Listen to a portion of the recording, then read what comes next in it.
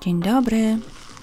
Dzisiaj chciałam Wam pokazać, jak sobie radzę z tym faktem, że odkąd hoduję własne warzywa, własne sałatki, nie mam za dużej ochoty kupować już tego w sklepach, a niestety zimą, jak nie można wyhodować sobie sałaty na ogrodzie, no to nie ma innego wyjścia, tylko kupić w sklepie. No ale mam na to rozwiązanie. Postanowiłam kupić kiełkownicę, żeby hodować kiełki, które są o wiele bardziej wartościowe od sałaty i innych warzyw. Myślę, że to rozwiąże problem. Ja już żałuję, że kupiłam tylko jedną, ale na razie wystarczy. Kiełki trzeba na początku przepłukać wodą, a potem zalać wodą i na kilka godzin odstawić, żeby one nasiąkły, żeby zaczęły się otwierać. W kolejnych dniach trzeba je płukać wodą minimum dwa razy dziennie. Mi się zdarza to częściej, bo chcę, żeby one były świeżutkie.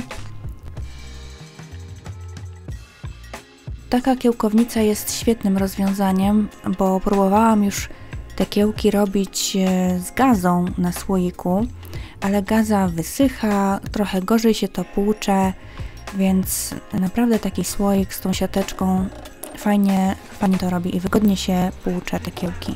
Trzeba zwrócić uwagę, żeby ta siatka też nie była za duża w opisach, na przykład w sklepach. Mi się udało, że kiełki brokuła nie przelatują przez te oczka.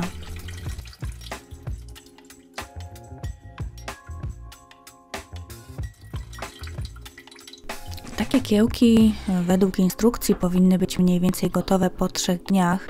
U mnie zajęło to około tygodnia, bo jak może wiecie, u mnie jest dosyć chłodno w domu 19-20 stopni i troszkę dłużej im schodzi, żeby urosnąć. No ale się udało. Także korzystam z nich przy każdej okazji. Do makaronu, do kanapek, kiedy tylko można, żeby trochę witamin sobie przyswoić.